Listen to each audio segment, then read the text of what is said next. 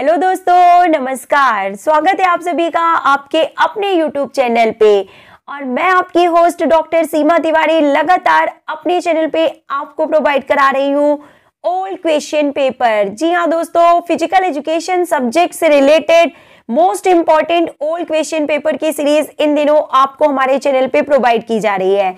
तो दोस्तों, ये वही क्वेश्चन हैं, ये वही ओल्ड पेपर्स हैं जिनसे एज इट इज़ कुछ क्वेश्चन सभी प्रतियोगी परीक्षाओं में पूछ लिए जाते हैं और आपको इनकी प्रैक्टिस करना बहुत ज़रूरी है। तो अगर आप प्रिपरेशन कर रहे हैं किसी भी कॉम्पिटेटिव एग्ज़ाम की तो आप इन सभी वीडियोस को प्लेलिस्ट में जाके पूरा पूरा लास्ट तक देखें और इनकी प्रैक्टिस करते रहें। आगामी सभी प्रतियोगी परीक्षाओं में आपको इन वीडियो से काफ़ी हेल्प मिलने वाली है दैट आई एश्योर यू और देखिए आज के इस वीडियो में भी हम एक बहुत ही इंपॉर्टेंट ओल्ड क्वेश्चन पेपर लेके आए हैं दोस्तों, और आपको डिफरेंट एंड यूनिक क्वेश्चन इस सीरीज़ में आपको देखने के लिए मिलेंगे। पहले भी मैंने कई बार आपको बताया है कि ये जो क्वेश्चन पेपर्स हैं, इनमें आपको कुछ ऐसे न्यू क्वेश्चंस भी मिलते हैं कई बार, जो आपने पहले नहीं पढ़े होते हैं। तो ये आपकी प्रिपरेशन के पर्पज से काफ़ी इंपॉर्टेंट है ये पॉइंट तो आज के इस वीडियो में यही है। कि कुछ न्यू एंड डिफरेंट क्वेश्चन है सीरीज़ में, जो कि आपको पूरा पूरा लास्ट तक देखना बहुत ज़रूरी है। So let start with question number one and it is asking that कि which of the following is not a multi sport competition की कौन सा बहु खेल प्रतियोगिता में शामिल नहीं है। तो देखिए option number one Commonwealth Games Asian Games and Olympics इन तीनों में आपको पता है कि बहुत सी स्पर्धाओं को शामिल किया जाता है। ये बहु खेल, यानी कि मल्टी स्पोर्ट कॉम्पिटिशन में आते हैं। लेकिन क्या है करेक्ट आंसर देखिए, इस क्वेश्चन का चैंपियंस ट्रॉफी जो है, it is not a multi-sport competition. Now, the next question is asking कि a mix of boxing and wrestling is known in ancient Olympic as. तो मुक्केबाजी और कुश्ती के मिश्रण को प्राचीन ओलंपिक में किस नाम से जाना जाता था? और करेक्ट आंसर तो आप सभी ने गेस कर लिया है, इसे पेनक्रेशन के नाम से जाना जाता था दोस्तों। मूव करते हैं हम नेक्स्ट क्वेश्चन की ओर कि the idea for reviving the Olympic Games came from यानी कि रिवाइविंग का मतलब होता है कि ओलंपिक खेलों को पुनर्जीवित करने का विचार किसके द्वारा लाया गया था? And the correct answer is option number D Baron Pierre de Coubertin इन्होंने ही ओलंपिक खेलों को पुनर्जीवित किया और शुरुआत की मॉडर्न ओलंपिक गेम्स की, जिनकी शुरुआत ना 1896 में वैरन पेरेदी कुबर्टिन जी के द्वारा ही की गई थी। आप सभी को पता है और इसीलिए वैरन पेरेदी कुबर्टिन को जो आधुनिक ओलंपिक खेलों के पितामह के रूप में जाना जाता है। नाउ द नेक्स्ट क्वेश्चन किसी संस्था की दीवार के अंदर खेले जाने वाली प्रतियोगिताओं को किस नाम से जाना जाता है? And a competition played within the walls of an institution is known as intramural competition इन्हें इंट्राम्यूलर कॉम्पिटिशन के रूप में जाना जाता है। नाउ द नेक्स्ट क्वेश्चन आदर्श वाक्य में फोर्टियस का क्या अर्थ है? तो आप सभी को पता है दोस्तों कि ओलंपिक मोटो में थ्री वर्ड्स uh, को लिया गया है थ्री लेटिन वर्ड्स को शामिल किया गया है साइटियस एल्टियस एंड फोर्टियस और पूछा जा रहा है कि फोर्टियस शब्द का अर्थ क्या है? तो मज़बूत स्ट्रोंगर फोर्टियस शब्द का अर्थ होता है स्ट्रोंगर और साइटियस का अर्थ होता है फास्टर यानी कि तेज और देन एलटीएस का जो अर्थ होता है, वो होता है हायर यानी कि उच्चतर। और एक और वर्ड जो इसमें इंक्लूड किया गया है, वो है कम्युनिटेस्ट जिसका मतलब होता है साथ साथ now let's move to next equation और ये देखिए, एक यहाँ पे एक ये क्वेश्चन बीच में आ गया है जो कि एसर्शन इन रीजन से संबंधित है। तो इसको देखिए, इसमें क्या कथन में कहा जा रहा है कि आर्कमिडीज का सिद्धांत यह है कि एक वस्तु पानी की अपनी मात्रा को विस्थापित करती है, जिसका उपयोग किसी व्यक्ति के शरीर में वसा का प्रतिशत निर्धारित करने के लिए किया जाता है। ओके? और दूसरा देखिए, क्या बोला जा रहा है इसका रीजन? इसका कारण क्या है कि वसा द्रव्यमान और वशा रहित द्रव्यमान का है। दुबला उतक जैसे हड्डी और मांसपेशी पानी से सघन होता है और वसा उतक पानी की तुलना में कम घना होता है। अगर आपको क्वेश्चन समझ में नहीं आया है तो आप इंग्लिश में से पढ़ सकते हैं। और हम आपको बता दें कि करेक्ट आंसर क्या है यहाँ पे, कि both A and R are true मतलब दोनों ही कथन और रीजन सही है और आर जो है वो कथन की सही व्याख्या करता है। तो this is correct answer for this question now let's move to next question and it is asking that the first secretary general of IOA यानी कि आईओए के प्रथम महासचिव secretary general first secretary general IOA यानी कि Indian Olympic association के कौन थे? तो बताइए क्या है correct answer option number C A G Noehren doctor A G Noehren was the first secretary general of IOA now let's move to next question और देखिए बहुत ही अच्छा क्वेश्चन है। फ़िज़िकल एजुकेशन से संबंधित जो भी महत्वपूर्ण डेफिनेशन सभी एग्ज़ाम्स में आपको देखने के लिए मिलते हैं। उन सभी को यहाँ पे शामिल किया गया है दोस्तों। तो हम आपको बता दें कि इसका करेक्ट आंसर क्या है, देखिए। Option number B is correct here means a third तो देखिए जो ए का जो सही यहाँ पे है मिलान, वो क्या है? थर्ड से है।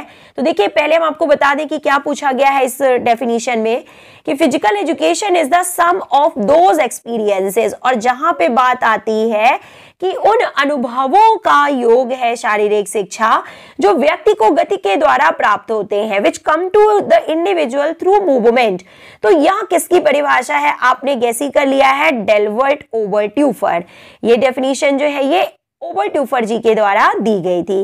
नाउ द नेक्स्ट डेफिनेशन देखिए कि physical education is an integral part of the total educational process शारीरिक शिक्षा संपूर्ण शैक्षिक प्रक्रिया का एक अभिन्न अंग है।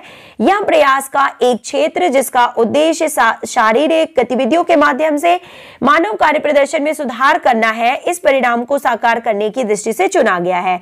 तो यह डेफिनेशन दी गई थी चार्ल्स बुचर जी के द्वारा। Option number first is correct here और देखिए, इसमें क्या है? थर्ड का जो, यानी कि सी का जो करेक्ट आंसर है, वो है ऑप्शन नंबर टू यानी कि physical education is the sum of man's physical activities selected as to kind and conducted as to outcome तो किसके द्वारा यह परिभाषा दी गई है? तो जेम्स फेरिंग जी के द्वारा ये परिभाषा दी गई है। जेम्स फेरिंग विलियम्स के द्वारा इसे परिभाषित किया गया है शारीरिक शिक्षा को। इस तरह से कि शारीरिक शिक्षा मनुष्य की उन शारीरिक गतिविधियों का योग है, जिन्हें परिणाम के रूप में चुना और संचालित किया जाता है। अब हम बात कर लेते हैं लास्ट डेफिनेशन की। जो कि कह रहा है जिसमें कि physical education is that phase of whole field of education that deals with the big muscles activities यानी कि जिनका संबंध जो बड़ी मांसपेशियों की गतिविधियों और उनसे संबंधित प्रक्रियाओं से जो है संबंधित होते हैं तो जहाँ पे बिग मसल्स की एक्टिविटीज़ के बारे में बात होती है तो जेबी नैश के द्वारा इसे परिभाषित किया जाता है। आप सभी को पता है दोस्तों तो ये डेफिनेशन आपको यहाँ पे रिवाइज हो गई हैं, जो कि हर बार एग्ज़ाम में पूछ ली जाती हैं। और अब हम मूव करते हैं नेक्स्ट क्वेश्चन की ओर कि a high strength to mass ratio is beneficial for athlete of यानी कि बड़े पैमाने पर अनुपात के लिए एक उच्च शक्ति एथलीटों के लिए कौन सी फ़ायदेमंद है? और जहाँ पे देखिए बात की जा रही है स्ट्रेंथ टू मास रेशियो जहाँ पे ज़्यादा होता है ठीक है? शक्ति शक्ति की बात की जा रही है कि उच्च शक्ति एथलीट्स की अगर हम बात करें तो किसमें इस तरह का गुण जो है पाया जाता है इस तरह का जो आ, स्किल है वो किसके लिए ज़्यादा ज़रूरी होता है? तो option number D is correct here भारोत्तोलन या वेट लिफ्टिंग वाले खिलाड़ियों में जो है शक्ति की शक्ति की, प्रधानता की बात की जा रही है। मूव करते हैं नेक्स्ट क्वेश्चन की ओर। V O two max is a key measure of which of the following fitness component यानी कि निम्नलिखित में से किस फिटनेस कंपोनेंट किस फिटनेस घटक को VO2 मैक्स के एक प्रमुख फॉर्म में जाना जाता है? और बताइए VO2 मैक्स की बात जहाँ पे की जाती है तो correct answer endurance is correct answer. Option number a. Now the next equation to develop the abilities of children with special needs यानी कि विशेष आवश्यकता वाले बच्चों की योग्यताओं का विकास करने के लिए एक शैक्षिक व्यवस्था का होना अनिवार्य है।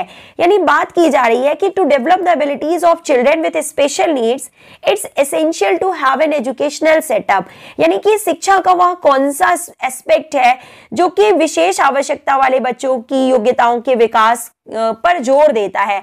यानी कि कुछ ऐसे बच्चे होते हैं जो जिन्हें special needy people needy children के रूप में जाना जाता है जिसमें दिव्यांग बच्चे आते हैं और जो शारीरिक और मानसिक रूप से कमज़ोर बच्चे आते हैं और जिसमें जिसमें विशिष्ट बालकों को, यानी एक्स्ट्रा ऑर्डिनरी यानी जो बहुत बुद्धिमान होते हैं, उन बच्चों को भी शामिल किया जाता है कि उनकी जो नीड्स हैं वो स्पेशल होती हैं, उन्हें अलग तरह से पढ़ाने की ज़रूरत होती है, उनके लिए अलग टीचिंग एड्स की ज़रूरत होती है। तो ये किसमें शामिल है? तो ये कहलाता है इंक्लूसिव यानी कि सम्मिलित inclusive part of of educational setup यानी कि शैक्षिक व्यवस्था के इस प्लेटफॉर्म को सम्मिलित इंक्लूसिव जो है, उसमें जाना जाता है, ठीक है? फॉर्म में जाना जाता है। Now let's move to next question कि which of the following purification process yoga recommend to get and keep the equilibrium of these tridoshas यानी कि कौन सी सिद्धि प्रक्रिया योग त्रिदोषों के संतुलन को प्राप्त करने और बनाए रखने की सलाह देता है। ओके? तो देखिए क्या है? ऑप्शन नंबर वन नेति, बस्ती, धोती, ये तीन जो है, यानी कि ऑप्शन नंबर सी यहाँ पे सही है। A C and D option number three is correct here A C and D यहाँ पे सही आंसर है, यानी कि सही ऑप्शंस हैं सिद्धि प्रक्रिया योग त्रिदेशों के संतुलन को प्राप्त करने और बनाए रखने के लिए okay let's move to next important question of the series और बहुत ही अच्छा क्वेश्चन है, देखिए स्क्रीन पे और आपको सही मिलान करना है यहाँ पे। The first question is asking the point where two or more bones are connected in the body in a manner that permits movement. तो देखिए दोस्तों जहाँ पे एक बोन को दूसरे बोन से जोड़ा जाता है, जहाँ दो हड्डियाँ आपस में इस तरह से जुड़ती हैं कि मूवमेंट हो सके। यानी कि बात की जा रही है ज्वाइंट्स की, देखिए। किसकी बात की जा रही है? ज्वाइंट्स यानी कि जोड़ों की बात की जा रही है। अगर पूछा जाता कि वो टिश्यूज कौन से होते हैं जहाँ पे एक बोन को दूसरे बोन से जोड़ा जाता है तो उसका आंसर होता है लिगामेंट लेकिन यहाँ पे टिश्यूज की नहीं, बल्कि उस पॉइंट की बात की जा रही है कि जिस पॉइंट पे दो बोन्स आपस में जुड़ती हैं और मूवमेंट को परमिट करती है, यानी जिसके कारण मूवमेंट हो पाता है हमारे बॉडी में, उन पॉइंट को क्या कहते हैं? और उन पॉइंट्स को ज्वाइंट्स के नाम से जाना जाता है, यानी कि जोड़ के नाम से जाना जाता है। बहुत ही अच्छा क्वेश्चन है। नाउ सेकेंड क्वेश्चन देखिए। कि a form of connective tissue जी हाँ दोस्तों, अब बात की जा रही है a form of connective tissue that is semi rigid yet flexible जो कि कैसा होता है सेमी रेजिट और फ्लेक्सिबल कनेक्टिव टिश्यू होता है it is found in the joints and other places such as nose throat and ears और कान के जो पिन्ना में, यानी कि जो बाहरी जो पार्ट दिखता है आपको बाहर से तो वहाँ पे जो पाया जाता है नोज़ में, यानी कि कार्टिलेजिनस रिंग्स जो हमारे ट्रैकिया में पाई जाती हैं, है ना? और थ्रॉट हो गया। तो ये सब आप समझ ही गए होंगे, बात की जा रही है कार्टिलेज के बारे में। क्या होगा करेक्ट आंसर कार्टिलेज ओके और नंबर थ्री देखिए a strong piece of tissue in the body connecting a muscle to a bone अब यहाँ पे बात की जा रही है कि वो टिश्यू जो कि एक मसल को बोन से जोड़ते हैं, यानी कि मांसपेशियों को हड्डियों से जोड़ने वाले टिश्यू को या कनेक्टिव टिश्यू को किस नाम से जाना जाता है? तो इन्हें जाना जाता है टेंडन के नाम से। और लास्ट क्वेश्चन देखिए इसमें कि fibrous cord that bind the bones together at joints related responses यानी कि रेशेदार हड्डियाँ रेशेदार हड्डियाँ जो हड्डियों को जोड़ने के, जोड़ने में हेल्पफुल होती हैं। तो सिंपली पूछा जा रहा है कि the type of connective tissue which connect bone to bone तो अब यहाँ पे उस टिश्यू की बात हो रही है जो बोन को बोन से कनेक्ट करता है तो लिगामेंट यहाँ पे सही आंसर होगा। Okay option number three is correct here तो देखिए क्या आंसर है यहाँ पे सही? देखिए दोस्तों option number B is correct here A का फोर्थ बी का फ़र्स्ट सी का सेकेंड और डी का थर्ड आंसर यहाँ पे सही है ओके अब हम मूव करते हैं नेक्स्ट क्वेश्चन की ओर and it is asking that the ability of an athlete to change direction rapidly without a significant loss of speed balance और बॉडीली कंट्रोल यानी कि गति, संतुलन या शारीरिक नियंत्रण के महत्वपूर्ण नुकसान के बिना एक एथलीट की दिशा तेज़ी से बदलने की क्षमता को किस रूप में जाना जाता है? And it is known as agility इसे चपलता के रूप में जाना जाता है। Now the next equation the part of the heart that pumps blood to the rest of the body is the यानी कि हृदय का वह भाग जो शेष शरीर में रक्त पंप करता है, वह कौन सा है? Option number D left ventricle में ही दोस्तों शुद्ध रक्त पाया जाता है, जो कि हार्ट का वो पार्ट होता है, वो चैम्बर होता है, जो कि सबसे बड़ा चैम्बर होता है और यहाँ पे शुद्ध रक्त होता है और यहीं से आयोटा के द्वारा या आर्टरीज के द्वारा शुद्ध रक्त को बॉडी के सभी पार्ट्स में, यानी कि शरीर के सभी भागों में पहुँचाया जाता है। हृदय से बाकी सभी भागों तक ले जाया जाता है। Now the next question the first Asian Games were held between the following dates यानी कि फ़र्स्ट एशियन गेम्स आपको पता है कि 1951 में न्यू दिल्ली, इंडिया में इनका ऑर्गेनाइज इन, इनको जो है होस्ट किया गया था, भारत के द्वारा ही होस्ट किया गया था। तो किस डेट से किस डेट को ये हेल्ड हुए थे, ये आपको बताना है। The correct answer four March to 11th March यानी कि fourth March to 11th March 1951 is correct answer चार मार्च से 11 मार्च उन्नीस सौ इक्यावन को इनका आयोजन किया गया था okay okay? Now, the next question is asking the ancient Olympic Games were held in Olympia every four year from यानी कि प्राचीन ओलंपिक खेल हर चार साल में ओलंपिया में आयोजित किए जाते थे। तो ऐसा कब से शुरू किया गया था? यानी कि प्राचीन ओलंपिक गेम्स की शुरुआत कब से की गई थी और कब तक इनका आयोजन किया जाता रहा है? और फिर इसके बाद इन्हें बंद कर दिया गया था। ये भी पूछा गया है एक्चुअली यहाँ पे कि कब से कब तक? प्राचीन ओलंपिक खेलों की शुरुआत कब से हुई और किस जो है शताब्दी तक इन्हें मनाया जाता रहा हर चार साल के बाद? तो करेक्ट आंसर क्या है देखिए? ऑप्शन नंबर सी यानी कि seven hundred seventy six BC से लेके three hundred ninety two AD तक ही इनका आयोजन किया जाता रहा है। तो अगर आपसे पूछा जाए कि प्राचीन ओलंपिक गेम्स को कब रोक दिया गया था? तो 392 एडी में। और पुनः इनकी शुरुआत कब की गई? तो इनकी शुरुआत 1896 से मॉडर्न ओलंपिक गेम्स के रूप में की गई थी बैरन पियरेडी कुबर्टिन के द्वारा। आप सभी को पता है दोस्तों मूव करते हैं हम नेक्स्ट क्वेश्चन की ओर। और, और जो कि आज का लास्ट क्वेश्चन है हमारे इस सीरीज़ का। और देखिए इसमें क्या पूछ रहा है कि इंटरकार्पल और joint of the wrist are the example of which type of joint यानी कि अंतर कार्पल या कलाई के जोड़ किस प्रकार के जोड़ के उदाहरण है तो बताइए correct answer option number B gliding joint is correct answer now the last question and homework question of the series जो कि आप सभी दोस्तों को पता है फाटलेग जिसका अर्थ स्पीड प्ले है, यानी कि गति के साथ खेलना, किस प्रकार की एक वेरिएशन होती है? तो क्या है इस क्वेश्चन का answer fartlek which means speed play is a variation of और दोस्तों इस अच्छे से प्यारे से क्वेश्चन का आंसर आपको हमें कमेंट बॉक्स में लिख के बताना है। अगर आपको वीडियो अच्छा लगा है तो लाइक ज़रूर कीजिएगा और अपने सभी स्टडीज़ ग्रुप में शेयर कीजिएगा।